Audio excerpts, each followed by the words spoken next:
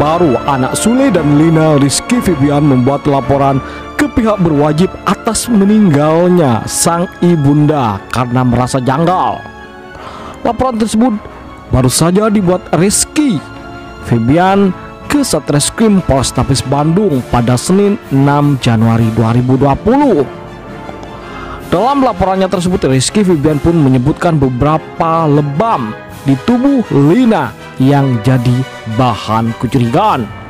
Ya, putranya atas nama Rizky Febian melaporkan itu ke Polrestabes Bandung pada Senin 6 Januari 2020, ujar Kabit Humas Polda Jabar Kombes Sabtono Elangga via ponsel. Sebelumnya Rizky Febian membuat laporan ke pihak berwajib itu Sule pun sempat mengemukakan kejanggalan yang ditemukannya di tubuh sang mantan istri. Hal tersebut karena Lina disebut meninggal dunia setelah pingsan akibat penyakit asam lambung. Padahal diakui Sule, ibunda dari Rizky Febian tersebut tidak memiliki riwayat penyakit apa pun. Tak hanya itu, Sule pun mencurigai tubuh Lina sang mantan istri yang membiru Alhasil, Suli juga mendesak untuk melakukan visum luar memeriksa kondisi tubuh Lina. Kata Putri Delina mamah lagi di visum. Mungkin bukan visum kali ya, cuma mungkin memeriksa keseluruhannya. Karena kan udah kelihatan biru-biru, ujar Sule sambil memutar tangannya ke wajah menunjukkan bagian tubuh Lina yang membiru. Setelah itu Sule berharap bahwa kebenaran atas kejanggalan meninggalnya Lina pun bisa terungkap. Maka dari itu kita akan tanyakan kebenaran atau tidaknya. Semoga kebenaran akan terkuak. Pungkas Sule. Bahkan selama visum, Teddy selaku suami Lina buru-buru untuk mengeluarkan Lina dari rumah sakit ke rumah duka. Hal tersebut membuat Sule pun menaruh curiga kepada Teddy dan di rumah sakit pun dari keluarga enggak ditungguin langsung dibawa ke rumah duka kayak yang buru-buru gitu imbuhnya Rizky Febian pun tak diberi izin untuk melihat kondisi jenazah ibundanya di rumah sakit. Iki juga ketinggalan. Sudah di rumah sakit, sudah nggak ada di sana, ujar Sule. Sayang sekali, kenapa mesti seperti itu? Kok banyak yang janggal ya? Ucap Sule heran. Rupanya doa Sule agar kebenaran perihal keganjilan meninggalnya Lina ini dikabulkan Hal tersebut terkuak ketika Rizky Febian diberi kesempatan untuk memandikan jenazah sang ibunda. Aku yang mandiin sempat aku cium-cium dulu ujar Rizky Febian.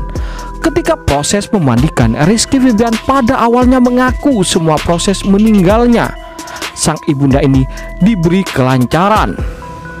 Ya Allah, Alhamdulillah proses meninggalnya mama pun luar biasa bagus semuanya diberi kelancaran semuanya Alhamdulillah sama Allah tidak diribetkan ujar Rizky Febian bahkan Rizky Febian mengaku tak ada hal yang aneh yang ada di tubuh Lina sama Allah tidak diperlihatkan hal-hal yang aneh justru diperlihatkan hal-hal yang bagus ungkap Rizky Febian akan tetapi, kini Rizky Febian baru sadar bahwa dirinya menemukan ada luka lebam di leher sang ibunda.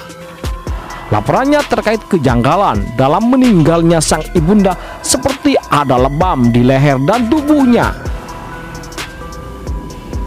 Kabit Humas Polda Jabar Kombes Sabto Erlangga membenarkan Adapun laporan ke Polrestabes Bandung belum disertai hasil visum luar karena hasilnya belum keluar hingga kini. Hingga laporan tersebut dibuat pun belum ada sosok terlapor atau pihak yang dilaporkan oleh Rizky Febian. Jadi belum ada pihak yang dilaporkan Imbu Erlangga. Rizky Febian pun menangis ungkap penyesalannya yang mungkin bisa jadi menyesal karena terlambat mengetahui semua penderitaan yang dialami Lina. Hal tersebut terlihat dari akun Instagram anak Sule tersebut. Rizky menyanyikan sebuah lagu yang mengungkapkan penyesalan dan minta maaf kepada sang ibundanya Lina. Kau tetap tersenyum padaku. Ku menyesal selalu melanggar kata-katamu. Kusadari kau begitu sangat berarti. Ibu Mohon maaf atas perbuatan dan kelakuan diriku. Ibuku sadar kau berikan ketulusan yang berarti Oh ibu Ucap Rizky Febian Sambil bernyanyi terlihat hampir menangis Dalam captionnya Rizky Melampirkan emoji menangis Dan cinta Tak hanya Rizky Febian Putri Delina anak kedua Suli dan Lina pun mengungkapkan kesedihannya dalam tulisan Putri Delina bahkan menyinggung soal sosok yang sudah membahayakan ibunya. Terlalu baik pada semua orang itu bisa membahayakan dirimu. Kadang memang harus memfilter mana yang harus dibaiki dan mana yang harus ditolak dengan baik, tulis Putri Delina. Lalu siapa kira-kira yang dimaksud Putri Delina tersebut, guys? Dan bagaimana kelanjutan laporan Rizky Febian? Kita tunggu Jangan lupa komentar di bawah, like dan subscribe. Terima kasih telah menonton.